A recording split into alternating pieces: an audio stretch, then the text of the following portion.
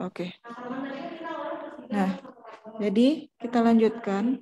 Kita kembali lagi ke soalnya 2 kali 3 pangkat 4X.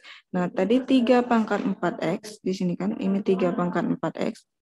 Nah, 3 pangkat 4X ini sama dengan Y kuadrat. Maka kita ganti di soalnya jadi 2 kali Y kuadrat dikurang 20.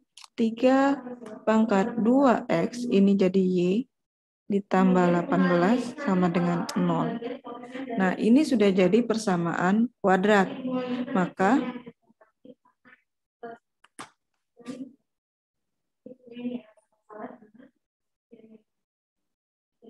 Nah, kita akan mencari Y1 dan Y2-nya di sini. Berarti untuk eh, mudah mencari akarnya, kita akan membuat di sini koefisiennya satu. Berarti semuanya harus dibagi dua. Berarti jadinya Y kuadrat dikurang 20 bagi 2, 10Y ditambah 18 bagi 2, 9, sama dengan 0. Berapa akarnya? Jika ditambah min 10 dikali 9.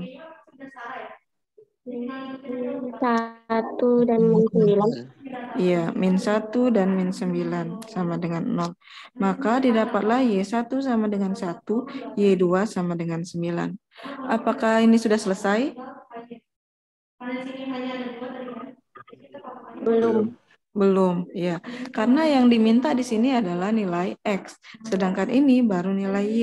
Maka kita kembalikan lagi ke sini. Nih. Jadi 3 pangkat 2X itu sama dengan Y. Jadi untuk nilai Y sama dengan 1, Y sama dengan Y1 sama dengan 1, maka kita bisa buat jadinya 3 pangkat 2X sama dengan 1. Maka 3 pangkat 2X sama dengan 3 pangkat berapa yang hasilnya 1? 0. 0. Maka di sini kita buat 2X sama dengan 0. Berarti berapa nilai X1? 0. Iya, 0. Karena 0 bagi 2 sama dengan 0. Dapatlah nilai X1. Sekarang kita akan beralih ke Y2 untuk mencari nilai X2. Berarti Y2-nya sama dengan 9. Maka 3 pangkat 2X sama dengan 9. Jadi 3 pangkat 2X sama dengan 3 pangkat 2 ya kan? Nah, maka di sini 2X sama dengan 2. Jadi nilai X2 sama dengan 1. 1. Maka didapatlah nilai himpunan penyelesaiannya adalah 0 dan 1. Ada yang mau ditanyakan untuk contoh soal ini? Yang pertama? Tidak, Bu. Oke, tidak. Nah, sekarang kita akan lanjut ke pertidaksamaan. Ke pertidaksamaan. Konsepnya sama dengan persamaan, kan e, bedanya kalau persamaan itu persamaan itu dilambangkan dengan tanda sama dengan. Sedangkan kalau pertidaksamaan ada yang tahu lambangnya apa? Lebih besar, lebih kecil. Oke. Lebih besar, lebih kecil. Ya, Lebih besar lebih sama dengan- besar, lebih kecil, lebih besar sama dengan, lebih kecil sama dengan. Konsepnya sama saja. Nah, ini boleh Ibu hapus dulu ya, karena ini sudah di-record, nanti tinggal di Ibu upload. Nah, jadi kita akan eh, menyelesaikan soal pertidaksamaan. Karena nanti Ibu akan masukkan soal pertidaksamaan juga di sini di PTS. Karena konsepnya sama, hanya beda di besar kecilnya saja. Nah, Ibu akan ambil soal yang sederhana dulu. Misalkan soalnya X kuadrat. Mana nih? Misalkan soalnya, oh, kok masih ini? Hapus, Bu. Loh. X kuadrat. Hmm, misalnya soalnya berapa ya? Ya, yang tadi hasilnya tadi X kurang 1 dengan ini X kuadrat tambah 10X ku, kurang 10X ya.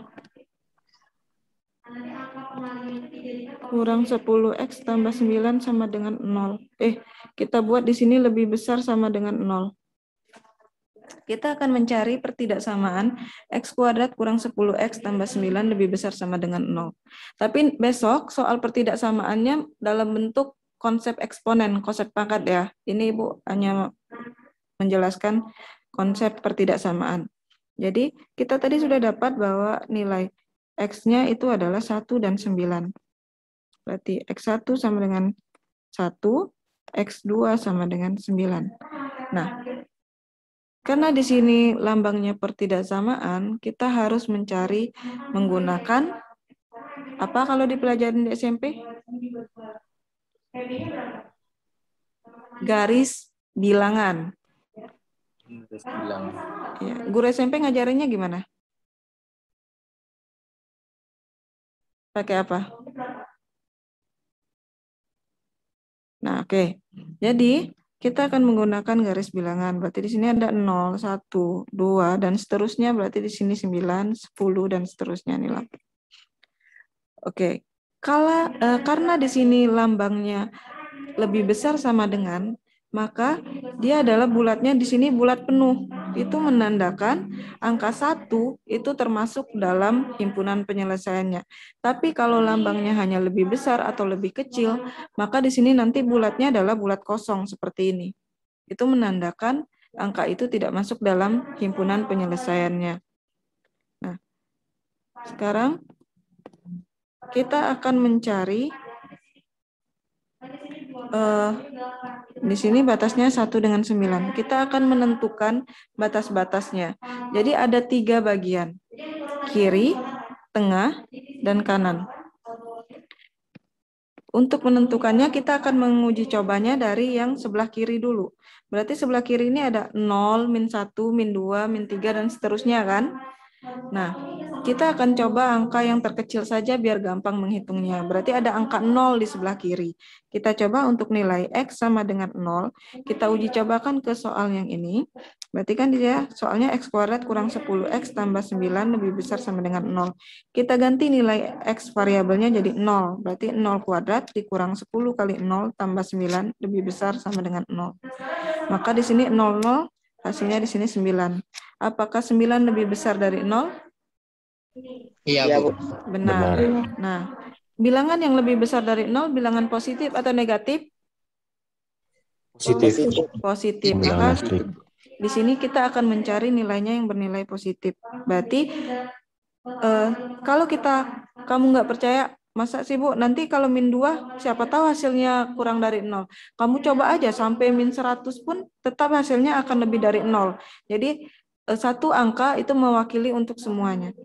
Nah, terus kita akan coba yang di tengah. Yang di tengah ada angka 2, 3, 4, 5, sampai 8. Kita coba saja angka yang terkecil. Itu X sama dengan 2. Berarti kita masukkan ke persamaannya 2 kuadrat tambah 10 kali 2 tambah 9. Lebih besar sama dengan 0. Ini jadinya 4 tambah 20 ditambah 9. Lebih besar sama dengan 0. Eh, ini kurang ya. Sorry.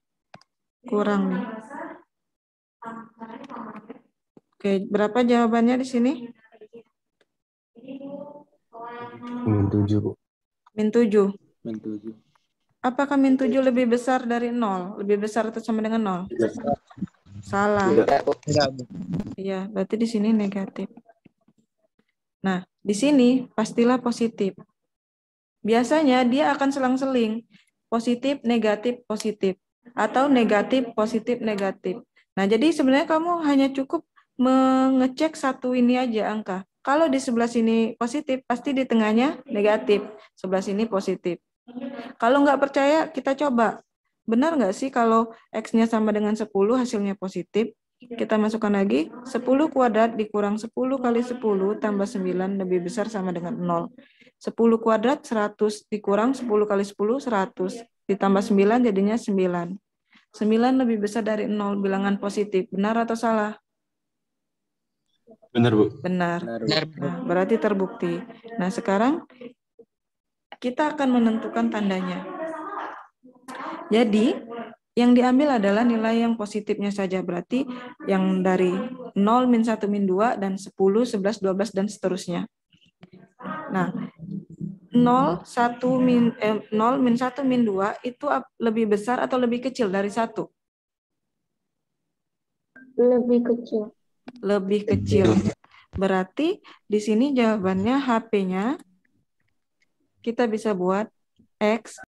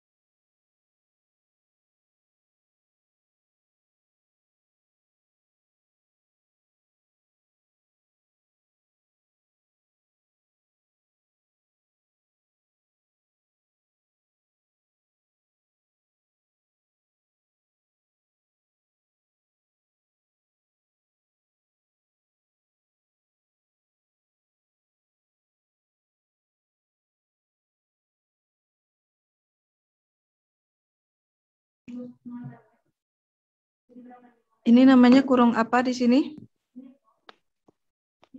Himpunan. Perawan. Iya, kurung kelawal. HP ini apa HP? Himpunan penyelesaian. Himpunan penyelesaian. Ya, jangan pula nanti ditanya HP apa, handphone katanya. Jadi ini dibaca, himpunan penyelesaiannya adalah X di mana atau dibaca juga X sedemikian hingga. Nah, 0, min 1, min 2, min 3 ini lebih besar atau lebih kecil dari 1? Lebih kecil. Lebih Lebih kecil. Maka jawabannya X. Karena tadi tandanya adalah pakai ada sama dengannya, berarti di sini juga X lebih kecil sama dengan 1. Kecil sama satu. Atau yang satu lagi, gimana lambangnya? Lebih besar sama besar sama. Itu sama Iya. sembilan. Lebih besar sama dengan 9. Kalau dia tidak pakai, eh, apa namanya? Kalau dia tidak pakai ini, lambang lebih besar atau lebih kecil, maka di jawabannya juga tidak perlu ditandakan tanda sama dengan. ya. Jadi disesuaikan. Oke, yang untuk pertidaksamaan ini bisa dipahami ya. Bu. Bisa. Nah, sekarang kita akan masuk ke contoh logaritma. Misalkan ada soal seperti ini untuk logaritma. Ini Ibu hapus dulu biar besar.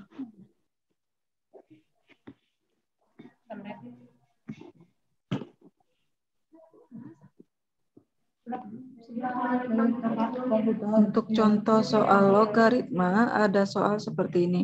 Misalkan ada 4 log 2x kuadrat dikurang 3x ditambah 7 sama dengan 2.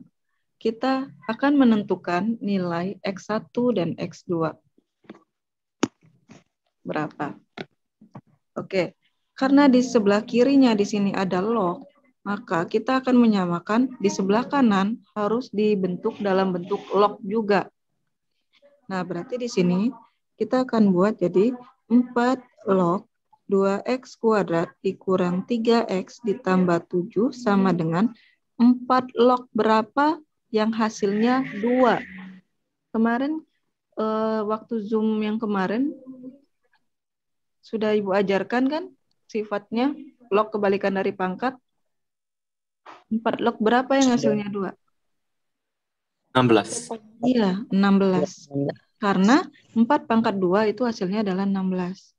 Nah, sekarang dia sudah sama-sama ruas kiri dengan ruas kanan sama-sama log. Udah coret aja 4 lognya. Berarti di sini jadi 2x kuadrat kurang 3x tambah 7 sama dengan 16. Sudah.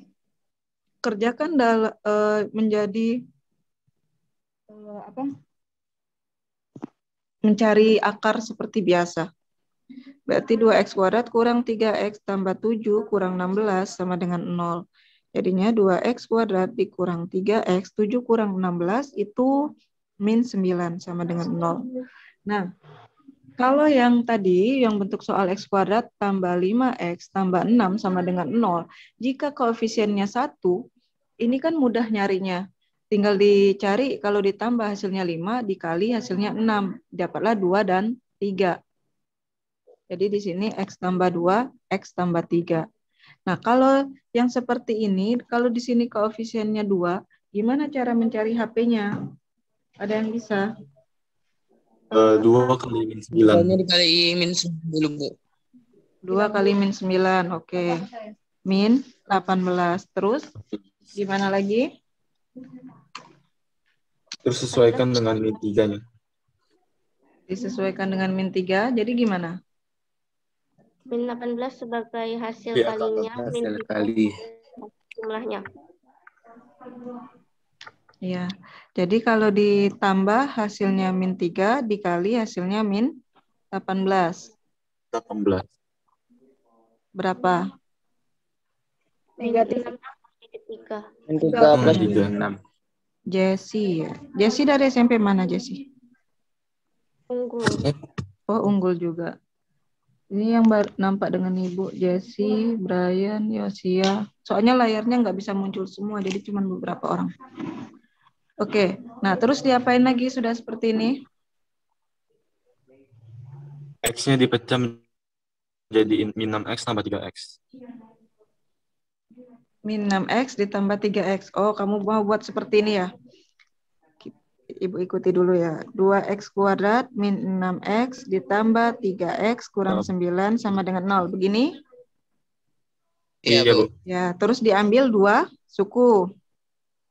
Ya. Hmm. Lalu difaktorkan ya. Berapa keluar Jadi yang di faktor suku yang ini? Berapa faktornya? 2X, 2X, 2X buka kali X kurung, kurang 3. Yang X kurang 3. 3. Yang satu kurang tiga. Tiga. 3. Tiga kali X kurang sini 3X kurang Kurang 3 sama dengan 0. Terus jadinya 2X 2X tambah 3 digabungin. Lalu X kurang 3 dikali sama dengan 0. Maka didapatlah 2X tambah 3 sama dengan 0 atau X kurang 3 sama dengan 0. Atau jadinya 2X sama dengan min 3 berarti X1 sama dengan min 3 per 2 atau X2 sama dengan 3. Maka dapat X1 dan X2-nya adalah min 3 per 2 dan 3. Nah, ini cara panjang. Kita, eh, Ibu ajarin cara singkatnya. Di sini saja. Coba perhatikan cara singkatnya. Untuk eh, soal persamaan kuadrat yang nilai A-nya tidak sama dengan satu. Yang di depan ini kan A ya, biasa disebut ya. Nah, 2X kuadrat dikurang 3X kurang 9 sama dengan 0. Kita akan mencari nilai X1 dan X2. Kalikan, ini hasilnya min 18. Sama seperti yang tadi tetap, ini kita gunakan min 6 dengan 3. Kalau ditambah hasilnya min 3, kalau, dikali hasilnya min 18, kita akan pakai di sini. Min 6 dan 3. Letakkan di sini. Lalu, nilai dari A, jika di sini A-nya di sini adalah positif, di sini positif 2, maka letakkan di bawah sini, ini jadinya negatif 2. Diletakkan juga di sini. Negatif 2. Maka didapatlah jadinya di sini X1 sama dengan 3, X2 sama dengan min 3 per 2. Tinggal dibalik aja, harusnya X1 yang kecil, X besar yang bes- eh, X2 yang besar. Sama nggak jawabannya? Sama. Bu. Sama. Oh, sama. Lebih singkat Sama. kan? Kalau minus berarti positif, Bu. Iya. Kalau di sini misalnya, misal ya, di sini min 2, maka letakkan di sini di bawahnya positif 2. Kebalikannya aja. Jadi kalau dia Oke. minus dirubah jadi positif, negatif dirubah jadi positif. Oke, untuk soal yang seperti ini bisa dipahami. Jadi kalau sebelah kirinya log, di sebelah kanannya hanya bentuk konstanta, ubah sebelah kanan menjadi logaritma juga. Oke ya, kita lanjut ke soal berikutnya. Ini Ibu hapus dulu.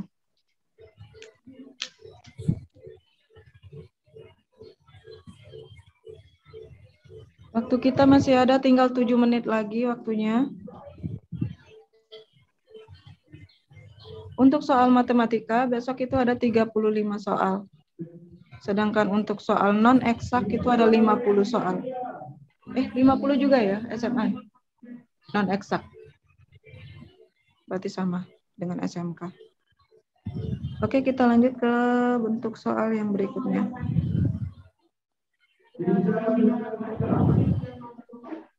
Bentar ya.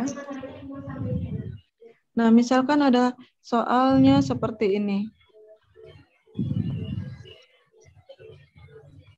Misalkan ada soal 2 log X tambah 8 ditambah 2 log X kurang 1 dikurang 2 log min 5X ditambah 56 sama dengan 0. Ini gimana cara penyelesaiannya? Eh, Pakai logaritma yang perkalian dan pembagian. Nah, iya, pakai logaritma yang sifat-sifat logaritma perkalian dan pembagian. Bisa disebutkan bentuknya dirubah jadi seperti apa? Manipulasi bentuknya? Dua log. X, Dua log Heeh. X tambah 8 kali X kurang 1. X X kurang tambah. 1 dikali min 5X tambah 56. Min 5x tambah 56-nya di mana? Di bawah, Oke. dibagi. Di bawah. Min 5x tambah 56. Nah, ini bisa dibuat seperti ini karena basisnya sama, sama-sama dua. Tapi kalau basisnya tidak sama-sama dua, berarti itu tidak bisa, ya. Nah, terus gimana lagi? Ini sama dengan berapa?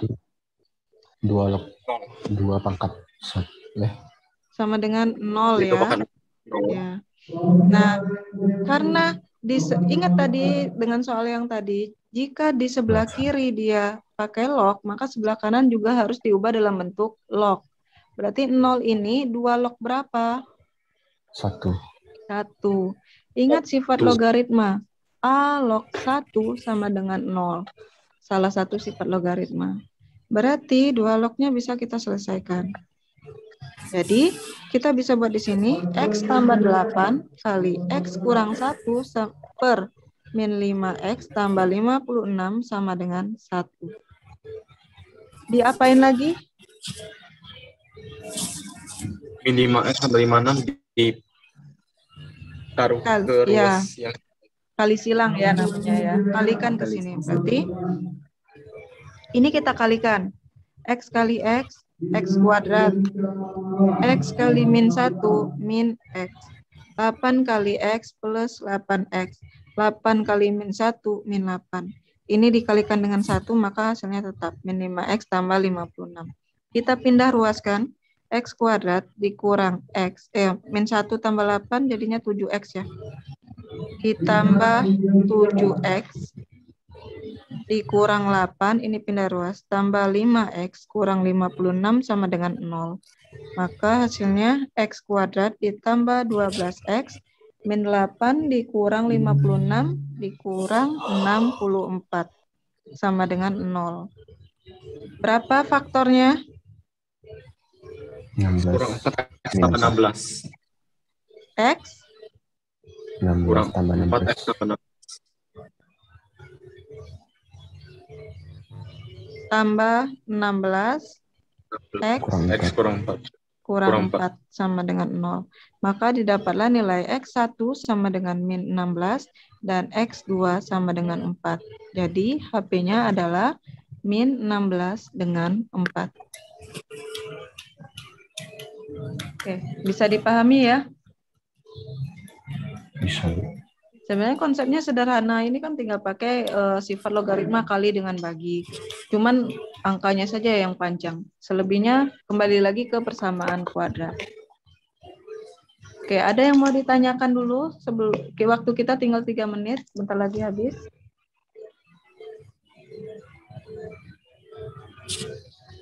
Tidak ada? Bu, Bu, Ya. berarti PTS-nya cuma sampai ke sifat saja ya, Bu? Sifat logaritma. Logaritma kan memang berkaitan dengan sifat logaritma. Mungkin nanti ditambahkan dengan pertidaksamaannya. Pertidaksamaan logaritma. Pertidaan, eh, pertidaksamaan logaritma kan kembali lagi ke persam, eh, sifat persamaan kuadrat. Nah, untung belum terhapus. Oke. Di sini X1 sama dengan min 16. X1 sama dengan min 16 itu harus kita kembalikan lagi ke eh, soalnya. Kita masukkan X min 16 ke di sini. 2 log berarti min 16 tambah 8. Berarti ini jadinya 2 log min 8. Dalam logaritma itu tidak ada minus di sini ininya. Maka min 16 ini tidak memenuhi. Jadi HP-nya hanya nilainya 4. Jadi harus diuji coba kembali ya. Tapi kalau misalnya di sini X-nya min 4 misalnya. Eh, misal soalnya seperti ini. Kalau X tambah 8 sama dengan 2 log 1. Gitu ya. Hmm, eh bentar loh. Biar jadi 4 berapa nih? Ah, nggak apa-apa nih. Nah, berarti di sini kan dua lognya kita hapus, berarti X tambah 8 sama dengan 1. Berarti X, eh ini X kurang 8.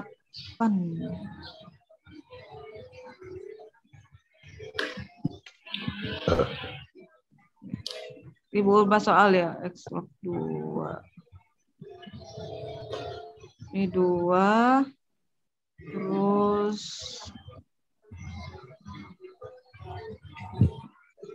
ini soalnya X kurang 8. Ibu ulang, ibu ulang. Biar nggak bingung.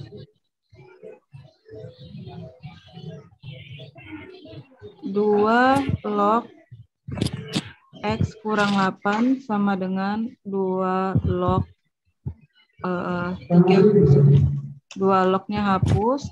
Berarti di sini X kurang 8 sama dengan 3. X-nya sama dengan 11. Ya enggak? Nah, nanti nilai X11 ini kita masukkan lagi ke sini. Berarti jadi 2 log 11 kurang 8. Nah, berarti kan jadinya 2 log 3. Nah, 2 log 3 itu ada nilai. Tapi kalau yang kayak ini tadi, jadinya 2 log min 8 yang di sini. Log tidak boleh negatif. Jadi nilai X min 16 tidak boleh dipakai. Nah, kalau yang ini X-nya 11, jika dimasukkan di sini hasilnya 2 log 3 positif, berarti X sama dengan 11 boleh dipakai. Sama kayak yang 4, yang 4 kita coba di sini, 4, 4 tambah 8, 12, berarti bisa dipakai. 4 kurang 1, 3, positif, berarti bisa dipakai. Ini kalau masukkan sini, min 5 kali 4, min 20, tambah 56, 36, berarti 4 bisa dipakai. Berarti HP-nya hanya 4. Oke ya, terima kasih banyak Wandi sudah mengingatkan ibu-ibu lupa. Ada yang mau ditanyakan lagi? Waktunya lewat ini. Tidak ada? Kalau tidak ada, Tidak ada. eh, ini nanti Ibu share ke YouTube seperti biasa.